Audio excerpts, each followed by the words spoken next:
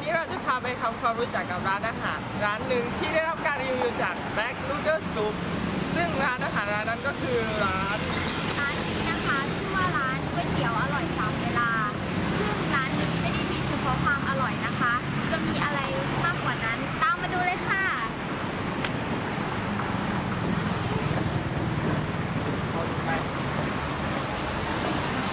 ไปไหนกันเหรอคะ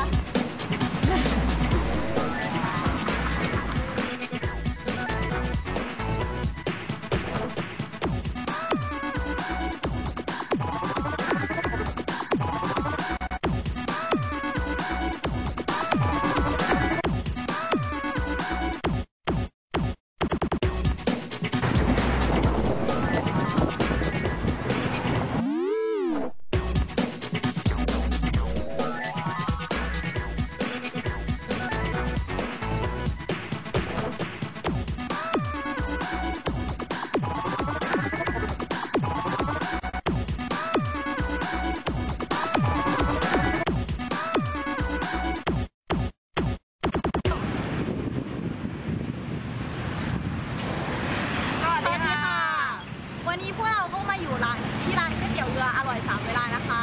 พิกัดร้านอยู่ตรงไหนคะแป้งสำหรับพิกัดร้านนะคะ หาไม่ยากค่ะ ตรงเป็นตึกสีเขียวๆค่ะ ตรงข้ามที่ว่าการอำเภอเมืองจังหวัดขอนแก่นค่ะเรามาชมบรรยากาศร้านพร้อมๆกันเลยค่ะ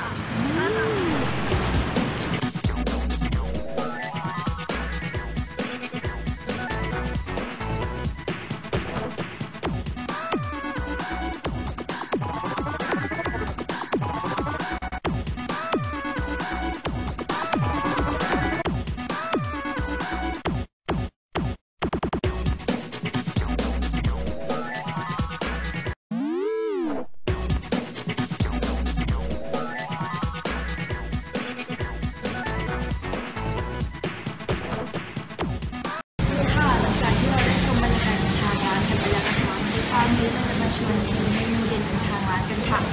แพรคะทางร้านมีเมนูเด็ดๆอะไรบ้างคะค่ะสำหรับเมนูเด็ดนะคะ ที่เราจะมาแนะนำในวันนี้นะคะ นอกจากก๋วยเตี๋ยวนะคะก็ยังมีกระเพาะปลาไข่ตุ๋นเสเยื่อไผ่ตุ๋นยาจีน แล้วก็กระเพาะหมูตุ๋นยาจีนค่ะเบียร์คะท่าทาน่าอร่อยมากเลยนะคะอร่อยมากเลยค่ะสามสิบนะคะใส่แคปซูลไปอีกหน่อยนะคะ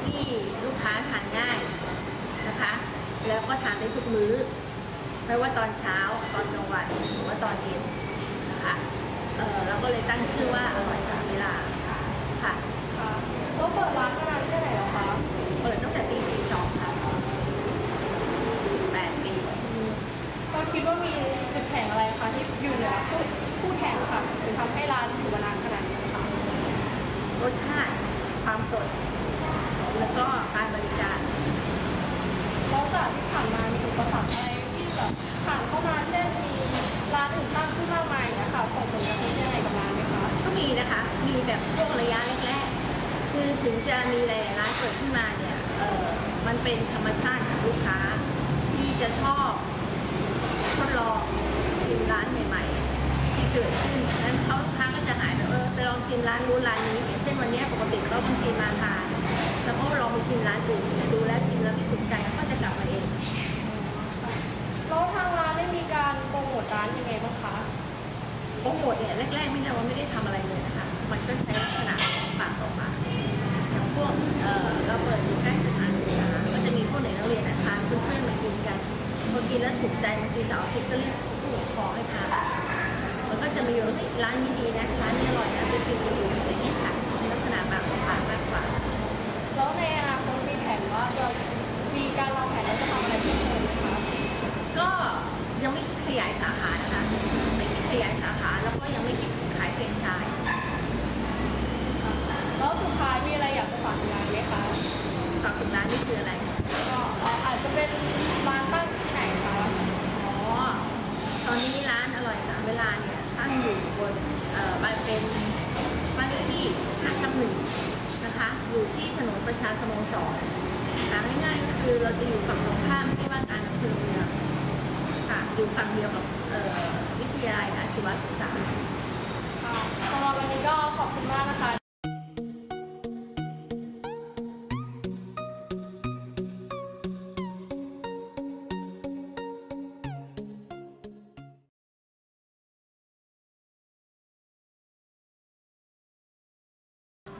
หัวข้อที่ 1 สถานการณ์ปัจจุบัน Pestel Framework ในปัจจุบันการดำเนินธุรกิจของร้านอร่อยสามเวลา มีอาหารที่หลากหลาย และส่วนใหญ่เป็นอาหารจีน เป็นผลกระทบทางด้านสังคมที่มีคนจีนเข้ามาท่องเที่ยว และมาอาศัยอยู่ในประเทศไทยจำนวนมากทำให้ทางร้านได้เอาวัฒนธรรมทางด้านอาหาร มาเป็นจุดเริ่มต้นในการสร้างร้าน และส่งผลกระทบทางด้านเศรษฐกิจทำให้ดีขึ้น เนื่องจาก เป็นการสร้างทางเลือกใหม่ ให้กับกลุ่มชาวต่างชาติ หรือคนไทยที่ต้องการความแปลกใหม่ จนทำให้ก๋วยเตี๋ยวเป็นอาหารที่ติดปากคนไทยไปแล้วค่ะ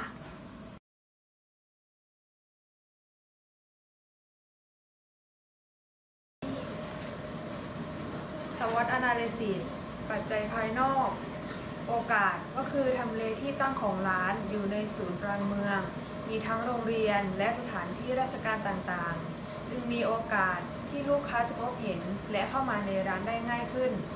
และนอกจากก๋วยเตี๋ยวแล้ว ทางร้านยังมีเมนูอื่น ที่มีส่วนผสมของสมุนไพรจึงตอบโจทย์ลูกค้าในปัจจุบันที่รักสุขภาพถือเป็นการเพิ่มโอกาสให้กับทางร้าน อุปสรรคในปัจจุบัน การทานก๋วยเตี๋ยวเป็นที่นิยมเป็นอย่างมากทำให้ง่ายต่อการจัดตั้ง แล้วก็ทำให้เกิดคู่แข่งหน้าใหม่เกิดขึ้นได้ง่าย ปัจจัยภายใน จุดแข็ง ทางร้านใช้วัตถุดิบที่สดใหม่ และมีเมนูหลากหลาย ตอบโจทย์ลูกค้าได้หลายกลุ่ม อีกทั้งร้านยังมีชื่อเสียงมากเป็นระยะเวลานานกว่า 20 ปี จุดอ่อน เนื่องจากทางร้านมีการจำหน่ายเพียงช่องทางเดียว ทำให้ลูกค้ากลุ่มที่ไม่สามารถเดินทางมาซื้อที่ร้านได้ ซึ่งเป็นจุดอ่อนของร้านในการเพิ่มลูกค้ากลุ่มนี้ค่ะ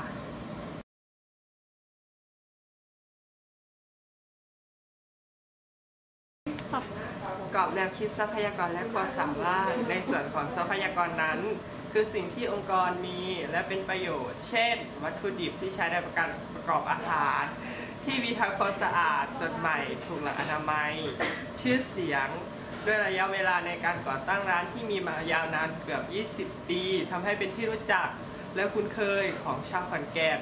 เป็นเหมือนตราสัญลักษณ์การันตีความอร่อยของร้าน ที่ตั้งด้วยการที่มีตำแหน่งร้านอยู่ใกล้ส่วนราชการต่างๆทำให้สามารถจดจำตำแหน่งร้านได้ง่าย อีกทั้งยังถือว่าเป็นทางเลือกสำหรับเจ้าหน้าที่ ที่มีเวลาจำกัดในการพัก หากต้องออกไปรับประทานในที่ไกลต้องเสียทั้งค่าน้ำมันและเวลาสู้กินร้านที่ใกล้ ๆ และยังอร่อยกว่าอีกด้วย และในส่วนทรัพยากรมนุษย์นั้น ทางร้านได้จัดพนักงานให้มีความพอเพียงต่อการทำงานเพื่อให้เกิดประโยชน์ ทั้งกับทางร้านลูกค้าและลูกจ้างและในส่วนของความสามารถนั้น คือสิ่งที่องค์กรสามารถทำได้ดี เช่น มีการบริหารงานที่มีประสิทธิภาพ แบ่งงานความรับผิดชอบกันอย่างชัดเจนทำให้พนักงานทำงานได้อย่างมีประสิทธิภาพ และส่วนของการบริการลูกค้านั้นที่ทางร้านให้ความสำคัญอย่างมาก ถือเป็นจุดสำคัญที่ทำให้ลูกค้าเกิดความพึงพอใจ และเลือกที่ตัดสินใจกลับมารับประทานกับทางร้านอีก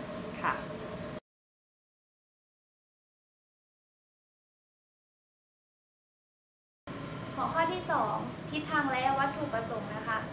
เนื่องจากทางร้านใช้พื้นฐานรสชาติในการรักษาฐานลูกค้ากลุ่มเดิม และมีทำเลที่ตั้งที่เหมาะสมในการเพิ่มฐานลูกค้ากลุ่มใหม่ ทางร้านจึง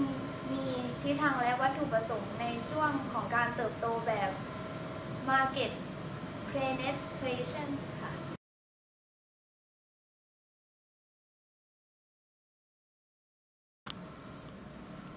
ค่ะ สำหรับหัวข้อที่ 3 นะคะ สินค้าและแบรนด์ ร้านอร่อย 3 เวลา เป็นร้านอาหารที่มีหลายเมนู ที่ทานง่ายและเหมาะสมกับทุกเวลา อย่างเช่นในตอนเช้านะคะ เราก็จะกินต้มยาจีนกับข้าวสวยร้อนๆ ตอนเที่ยงอาจจะเป็นก๋วยเตี๋ยวหรือเกาเหลา และตอนเย็นอาจจะเป็นติ่มซำซึ่งทั้งหมดนะคะ เป็นที่มาของชื่อร้านนั่นเองค่ะ หัวข้อทีสี่4 การสื่อสารและโน้มน้าวใจ เกิดจากการที่กลุ่มลูกค้าเดิมมีความประทับใจในรสชาติและการบริการของทางร้าน จึงทำให้เกิดการบอกกล่าวต่อๆไป และอีกทั้งทางร้านยังมีแฟนเพจซึ่งเป็นช่องทางในการเปิดโอกาส ให้ลูกค้าได้แสดงความคิดเห็นทำให้ลูกค้าเป็นส่วนหนึ่งในการพัฒนาร้านค่ะ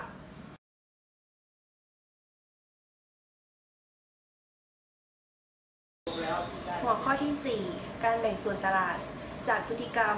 โดยการที่คนสมัยนี้นิยมความสะดวกสบายในการดำเนินชีวิต เพราะต้องรีบเร่งกับการทำงานในแต่ละวันทำให้ก๋วยเตี๋ยวเป็นอาหารยอดฮิตที่สามารถทานได้ทุกเพศทุกวัยทำให้ร้านเล็งเห็นช่องทางในการทำร้านก๋วยเตี๋ยวแห่งนี้ขึ้น เพื่อให้สอดคล้องกับพฤติกรรมการดำรงชีวิตของคนในปัจจุบันสำหรับการวางตำแหน่งทางการตลาดการที่ร้านมีชื่อว่าอร่อยสามเวลาทำให้ลูกค้ามีมโนคติในหัวที่ว่า ไม่ว่าจะหิวตอนไหนก็มีร้านนี้คอยให้บริการอยู่เสมอทำให้เหมือนสามารถฝากของไว้กับร้านได้ทั้งวันค่ะ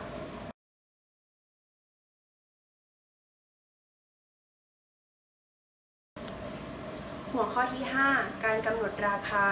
ร้านอร่อย 3 เวลามีการกำหนดราคาแบบ penetration pricing คือการกำหนดราคาเท่ากับคู่แข่ง โดยปกติทั่วไป ก๋วยเตี๋ยวจะมีราคาพื้นฐานประมาณ 30-50 บาททำให้คนส่วนใหญ่ซื้อได้ และบวกกับการที่ทางร้านใช้วัตถุที่มีคุณภาพดี จึงเป็นข้อได้เปรียบกว่าคู่แข่ง แต่ข้อจำกัดคือ การตั้งราคาแบบนี้คือต้องใช้ระยะเวลานานในการทำกำไรค่ะ